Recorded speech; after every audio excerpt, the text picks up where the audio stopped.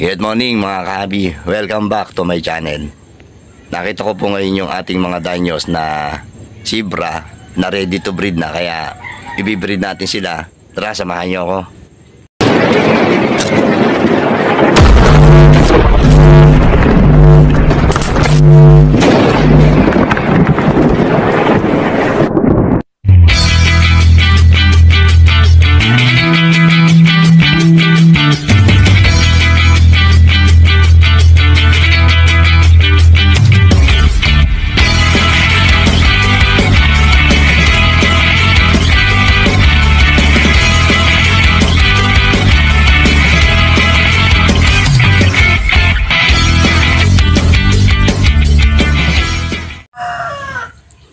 Ito na mga kahabi yung mga breeder natin na danyos. Ito yung ano, female. Dati, hindi sila ganyan ka lalaki, ka, katataba. Halos hindi mo sila mapapansin kung female o male nung magkakasama sila nung mga male ko. Nung nabili ko sila. Kaya lang nung inalagaan ko sila ng gusto, dahil nga sabi ko, ibibreed ko, kinargahan ko yan ng mga pagkain ng live food. Dap niya ang pinapakain ko po sa kanila. Tsaka kung pellet man ang ipakain ko yung ano, yung pagkain ng flower horn. Dinudurog ko yon tapos yun ang pinapakain ko pag ah, wala akong live food. Hanggang sa napaganda ko yung mga katawan nila ng female at saka yung male. Ngayon doon ko nakita yung mga babae. Yan, yan sila. Ito na mga kahabi yung cage na ginawa ko para sa pagbibreed ng danyos. Ayan. Sa 15 gallon ko sila ibibreed. Susubukan ko ngayon. First time ko lang po magbibreed ng danyos. Kaya tignan natin kung magsasucess yung pagbibreed ko. Andito naman po yung mga lalaki na danyos. Yan, dyan ko nilagay para madali mahuli. Yan, dyan ko sila pinapagandang katawan para ready to breed na rin sila. Yan, maya maya pagsasamahin natin to para kinabukasan tignan natin kung magsasucess yung kanilang pagbibreed. Yan, magaganda na rin tong ano, breeder na to. Pinili ko na to eh. Ayan sila malalaki ang pinili kong mga breeder na male para mapaganda yung pag-ano natin, pag-breed. Pinili ko yung magagandang kalusugan, yan. Kung mag-breed kayo, ganun dapat ang ano, piliin nyo yung mga magaganda para maging success yung ating pag-breed. O yan, itatry natin to ngayon. Sasamahan nyo ako mga kabi.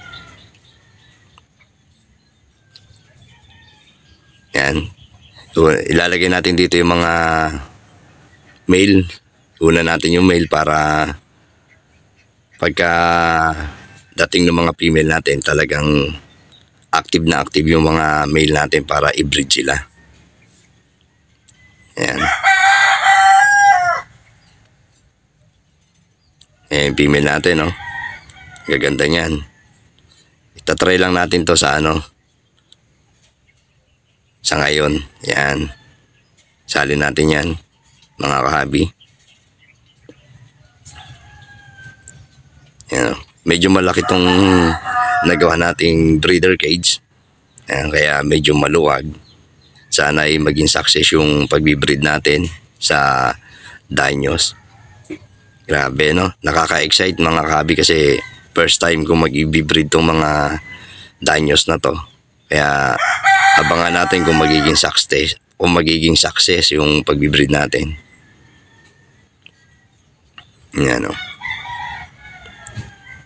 Medyo malalim yung nailagay kong tubig kaya tignan natin kung maging okay sila. Yan o.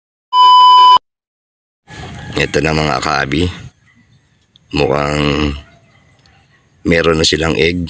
Ayan. Yan sila. Marami. Mga, marami ang naging itlog ng ating danyos. Maya maya titignan natin kung ilan yung nag-itlog ba kasi tatlong female lang ang nilagay ko para i-trial sa pagbibreed natin. Ayan. Pero yung male, marami akong nilagay dyan para siguradong maging success yung ating pagbibreed. Pero ayan oh, kitang-kita nyo mga kabi. Ang daming itlog na na ilabas yan sa sahig. Yan sila. Hmm. Miski pa paano naging success kasi dahil sa laki ng breeder cage natin, yung paghahabol ng male sa female, baka ka ako mahirapan pero hindi naman, ayan. Kahit pa paano naging success yung pag-breed natin, nagkaroon ng egg yung ating mga female, nagitlog sila, ayan. Sana ma maging success din yung pagpisa. Ito mga kabi, tinanggal na natin yung mga breeder natin para hayaan na lang natin yung itlog doon. Tignan natin kung mapipisa sila para magantay tayo sa 3 to 4 days na pagpisa ng itlog. Wala tayong gagamiting aerator dito mga kahabi. Tatry lang natin yan. Nakaka-excite talaga mga kahabi na pag ikaw first timer talagang diyan mo mararamdaman yung excite. Talagang gustong gusto mo na kung ano mangya, malaman kung ano mangyayari sa pagbibreed natin. Ngayon mga kabing, dito na lang pong ating video at maraming maraming pong salamat sa inyo pong pagsuporta sa Aljeros Vlog. Muli po akong hiling sa inyo na pakisubscribe po ang ating channel. Pakipindot na rin ang notification bell para updated po kayo sa lahat ng video na aking ginagawa. See you next vlog. God bless po mga kabi. Bye-bye.